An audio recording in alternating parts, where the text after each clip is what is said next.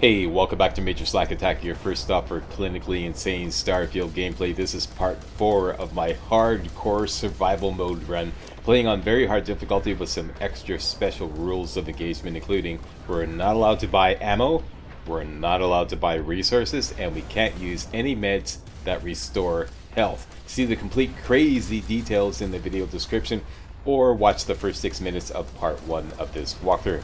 Alright, uh, first, some updates about the latest beta patch. Some of you are talking about this. Long story short, it completely nerfed all empty center of mass ships, including my invincible flying Z, which I showcased showcased in the intro part one of this walkthrough, and you see right here. What is an empty center of mass ship? Basically, pre-beta patch, which has only been released optionally so far. Okay, you have the option to download this patch. It will be um, released as a regular patch shortly. Um, but yeah, for now you, you you know you're safe. But what is an empty center of mass ship? This is my uh, invincible flying Z. It's a basically an empty center of mass ship.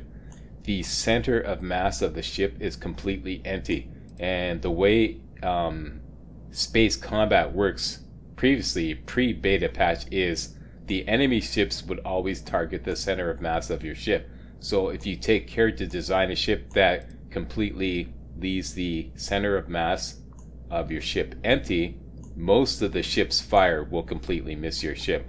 And that was the basis of this Invincible Flying Z. And that's the basis of many other um, ship designs out there that relied on this glitch, I guess. Um, now we know it's officially it's a glitch. Yeah. So um, my Invincible Flying Z got nerfed. Totally nerfed. Nerfed back to the drawing board. Didn't even see the light of day in this walkthrough. So yeah, hardcore survival mode just got so much harder. If you want to see the patch notes for the uh, Starfield uh, 11030 beta patch, I'll put a link in the video description. And I'm just going to show you right here. If you go to that page and you do a search for center of mass, you'll see the relevant line right here. Ship weapons should now target the, the nearest module on an enemy ship instead of the center of mass. The way they worded this is really confusing.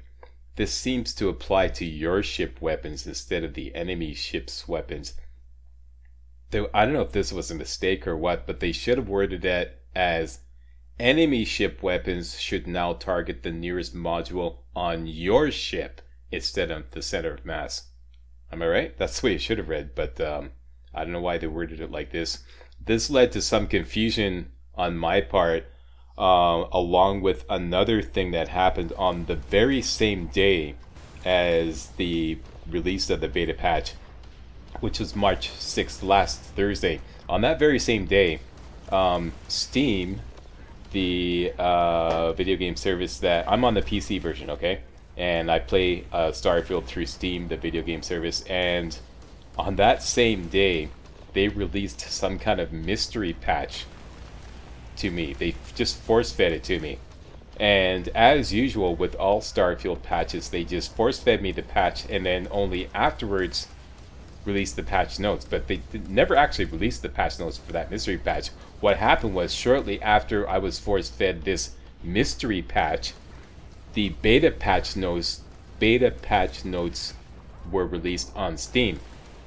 So I mistakenly thought that I had been force fed the beta patch, even though I'm not signed up for beta patches in Steam. I thought it was just a mistake, and Steam accidentally force fed me the beta patch. You know, just the way the timing of it all went down. So I thought my Invincible Flying Z was immune to the patch because I immediately tested my ship um, after I'd received this mystery patch, and my ship was still fine, unawares that I wasn't actually playing on the beta patch. So then I was telling everybody, hey, my Invincible Flying Z, um, it survived the patch, it's, it's fine. Only to realize a day later, when I was playing Starfield with the what I thought was the mystery or the beta patch installed, that some of the other features of the beta patch weren't working for example, um, the ability to open doors while the scanner is open. Let me see if I can find that relevant part here. Scanner.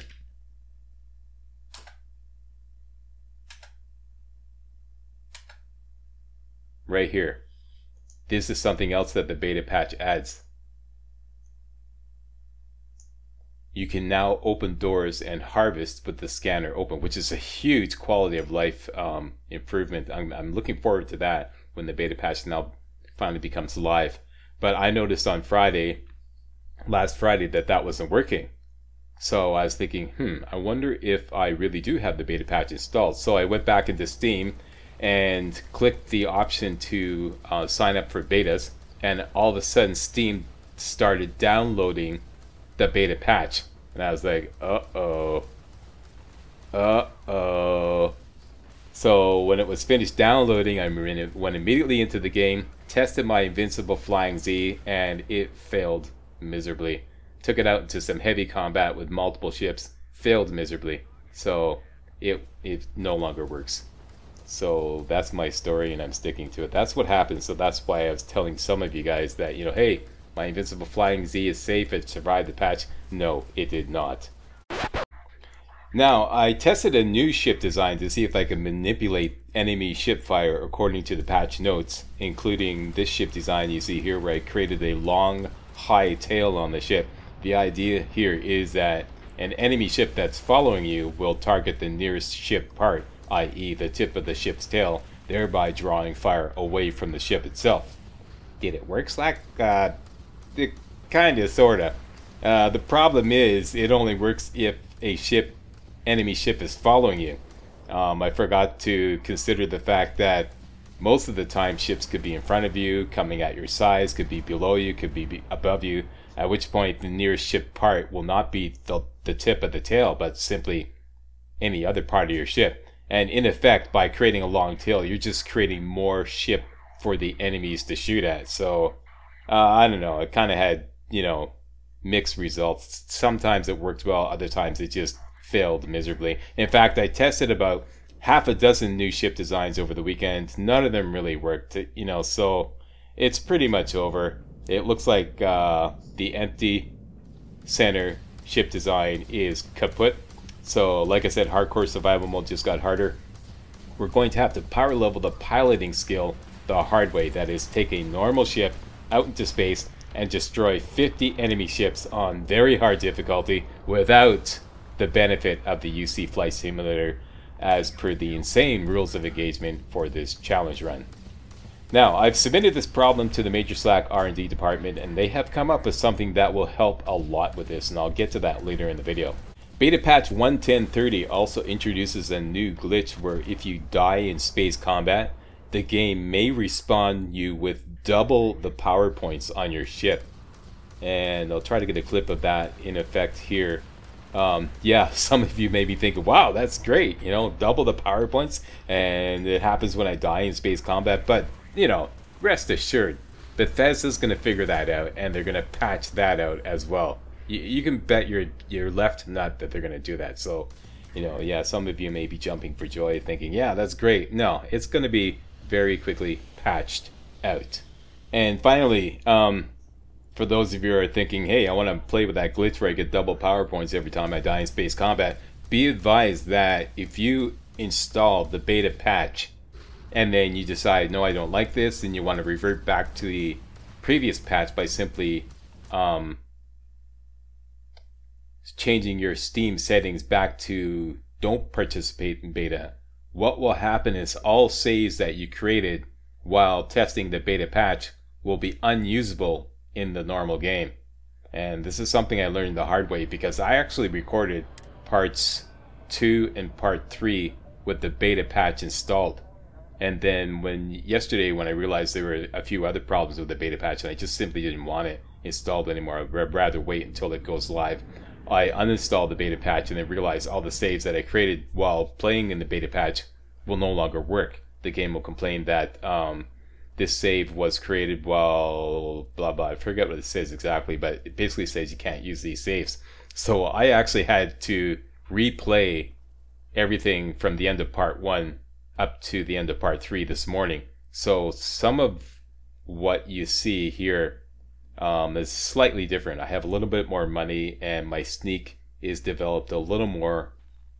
Not too much is different, but you know, if some of you know some slight changes from what was in effect at the end of part three and what you see now. That's what happened, all right? Yeah, and be, be advised that even after installing the beta patch and you wait for the beta patch to go live, they say that your saves will be good once the beta patch goes live, but some people have complained that that does not happen.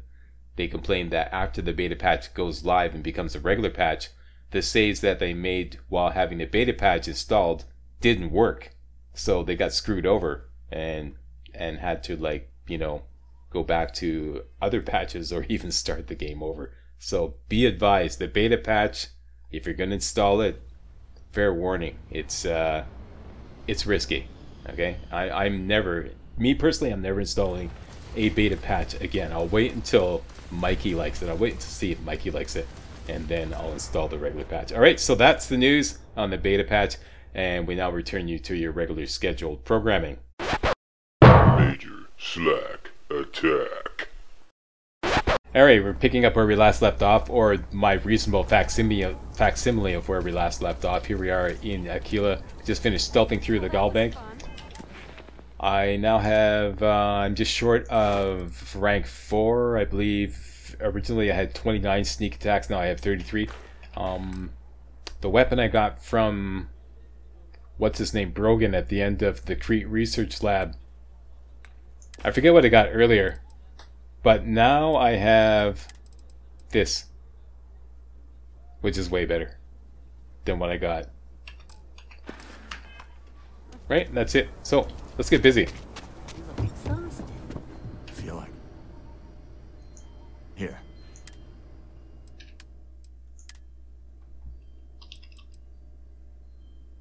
I have a modified Grendel here so we can sell off all these. I have this so I can sell that.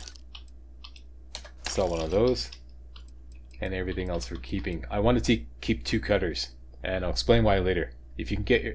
Actually, I know exactly where you can get another cutter. So yeah, two cutters is going to be great. Spacesuits, I only have one. I only have one pack, one helmet, and apparel. What's going on here? Don't need this piece of crap here. And that is it. Let's sell from the ship. Nope, I already sold that. I believe I had some, uh, yeah, I'm gonna drop those. These days I hardly see my husband at all. That's it. Let's go to the ship.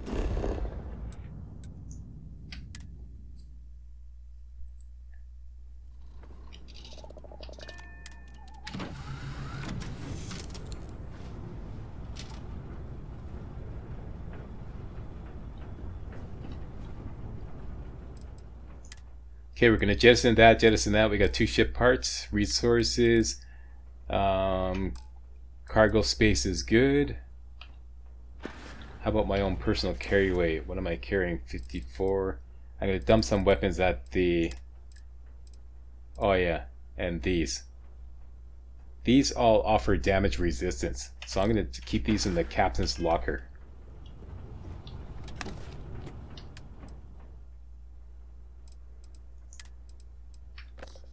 Go figure. Beer makes you tougher.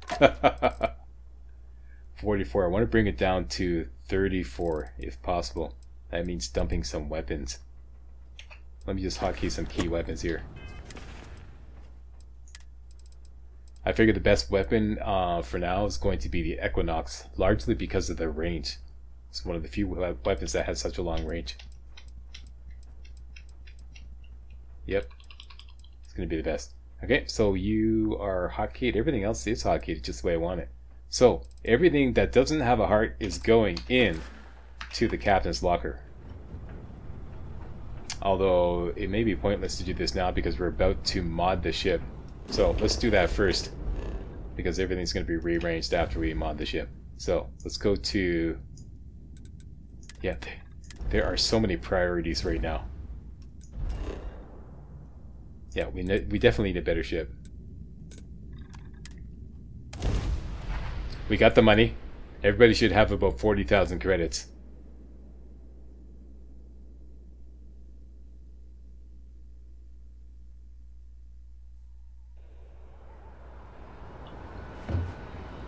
Okay, CFG POS, you're about to get a makeover.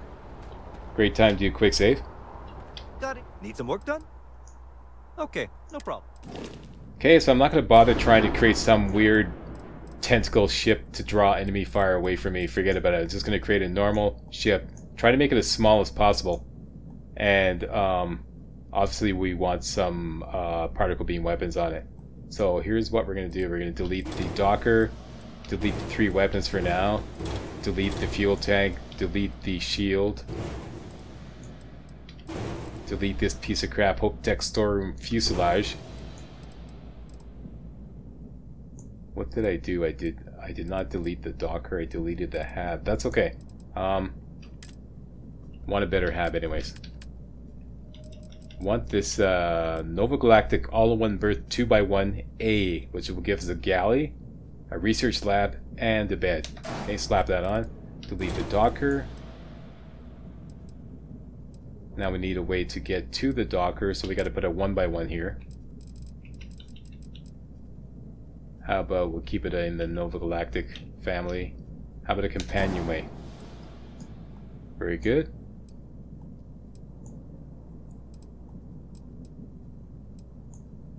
Okay, and um, the slim docker here, put that on top of there like that.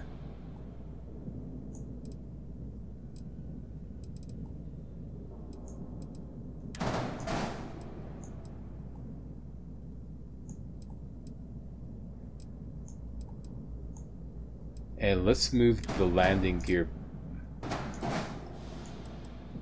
move this cargo back, move the landing gear back like that.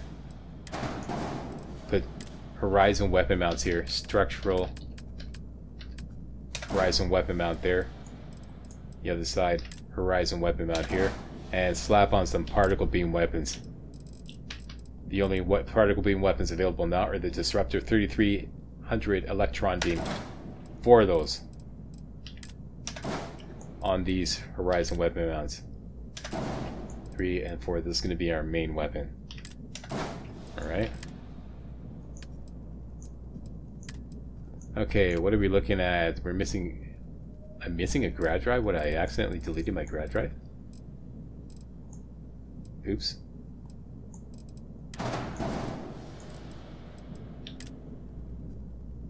Don't want to do that. Look for the plus sign. There's our original grav drive. Very good. And a fuel tank. A better fuel tank.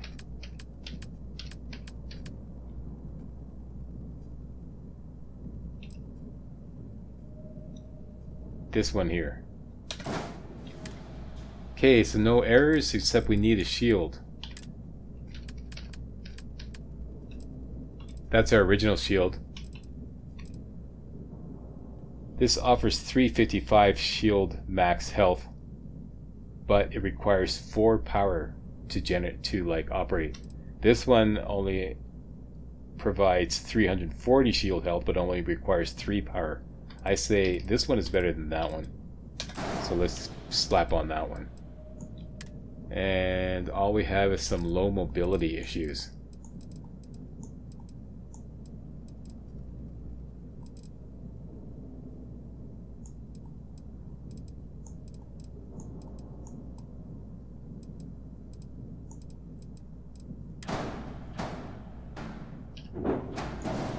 Could slap on an, an engine here. This white dwarf engine. That'll completely solve our mobility issues. And will make the ship scalable. But it will cut into our profit. Or our funds. Yeah, why not? Okay, so now we have no issues whatsoever.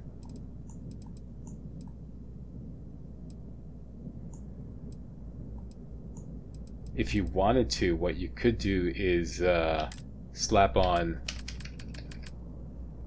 Horizon weapon mount there and then recover some of the original weapons. These are not really that great, but the missile launcher, which is free, you might want to recover that for the price of the Horizon weapon mount. So let's just slap that on there like that in case we want to like put some more missile launchers on it later on. That one will come free. And that's pretty much it. This will cost us 21,865 credits. That's it. That's our ship. I hate this cockpit, but um, we're on a budget, so we'll have to deal with it for now. I have an error? Unassigned weapon, yeah, right. Uh, just for posterity, you throw that guy on that there like that. And let's paint it. Congratulations, CFG POS. You have graduated.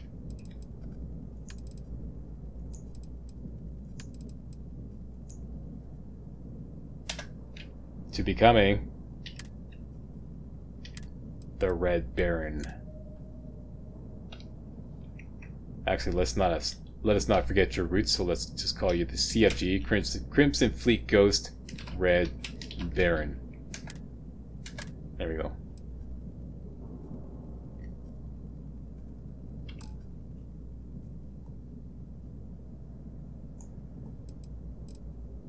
There you go. Nice compact ship. I wonder if we can get away with uh, not having this landing gear. Yes, we can. Although, we, if we want to add stuff later on, that's some free landing gear. Um, maybe not. Let's just leave it on. We're good to go. Here's our new ship. Okay, let's take it for a test drive.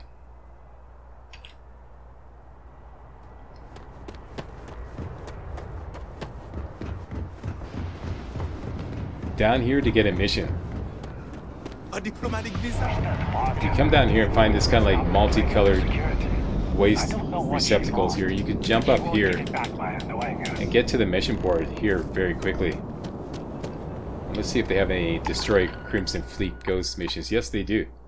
Destroy Crimson Fleet Hunt. Something I never knew you could do. I, just, I mean, after 600 freaking hours in this game. 600 hours in this game. I only realized yesterday you can reject missions. So um, this is huge. This is huge because uh, playing as we are with these rules of engagement, we have to go out and destroy 50 ships out in space to um, power level the piloting skill. This is, in fact, this that is um, Gauntlet of the Galaxy number two, is to max out the piloting skill without using the UC Flight Simulator. Um, you often come up in these scenarios where you go on one of these uh, destroy Crimson Fleet missions, right? Okay, you go out there and you arrive at the scene of the crime, and there's a half a dozen ships there. And you're looking at that going, there's no fucking way, pardon my French, there's no way you're going to be take, the, take them all down. This is where the invincible flying ships came in handy, you know? This is where like the uh, the Invincible Flying Z would have excelled, but we have to assume that even though I no longer have the beta patch installed, I want to make this walkthrough patch proof, so it will eventually go live and it will eventually be applied to everyone. So we have to prepare for that. So I'm not even going to use the Invincible Flying Z or create any kind of Invincible Flying Z. Let's just assume that that is off the table. Um, so you're in that scenario where there's a half a dozen ships, and what to do? Because if you just run away, right, you're still stuck with this mission. And what happens is, if you don't do these missions, the mission board won't respawn. It'll just be the same missions here until you actually do some of the missions. However, um, let me just take another mission for demonstrational purposes. Take on this mission here, okay? However, you can actually reject missions. I never knew you could do this. For example, this mission right here. I never knew that there's actually an option down here to reject it. So this mission board only offered up one Crimson Fleet destroy the Crimson Fleet mission. I prefer to have two, but this one's taking up the space. So let's just reject this. And then all you have to do to get the mission board to respawn is to sleep 48 hours. Sleep 48 um, universal hours. More specifically, you have to pass midnight twice, so it may not be precisely 48 hours, maybe less. Could be potentially just 25 um, universal time hours. Let's just see how long we'll have to wait. Sleep or wait, either or, doesn't matter. Okay, so uh, universal time. This is pretty, pretty much best case scenario. Let's just sleep. And all we have to do is pass midnight universal time twice. So that's once. And then as soon as it passes midnight again, we can cancel and that mission board will respawn and provide new missions. So that is huge.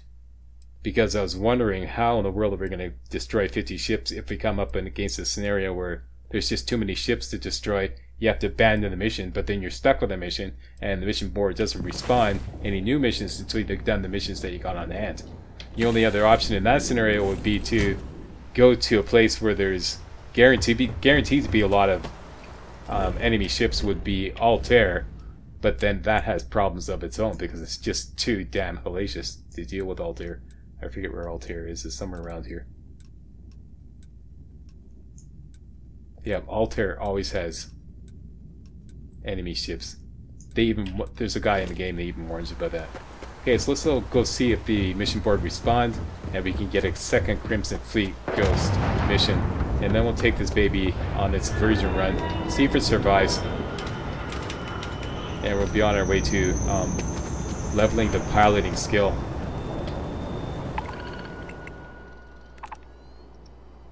Huh, it did not... Um,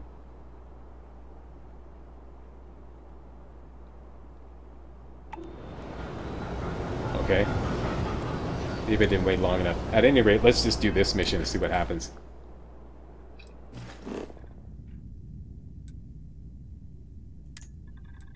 The pup. Interesting. And I should have set up my weapons and whatnot first.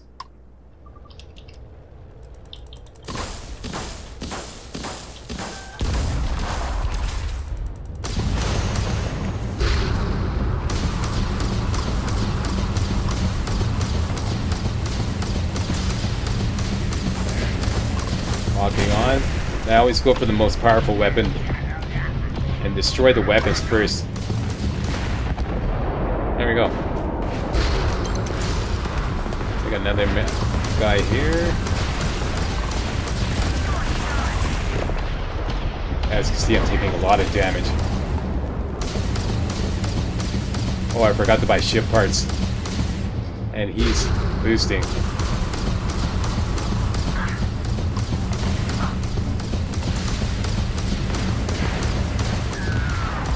Got him. Great. Okay, so... My grav drive took a lot of damage.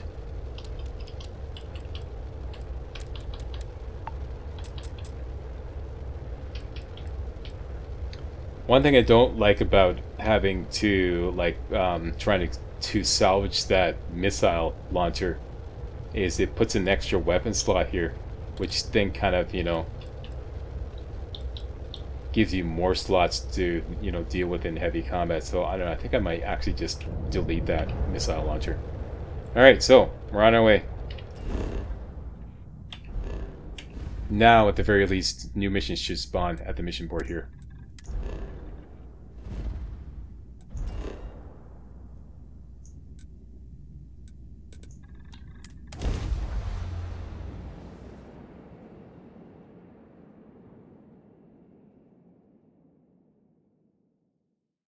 Hey guys, real walkthroughs like these are an endangered species here on YouTube. For a complete lowdown on the YouTube video game walkthrough scene, check out my Patreon page and please consider making a donation to yours truly, Major Slack, to help keep real walkthroughs alive on YouTube.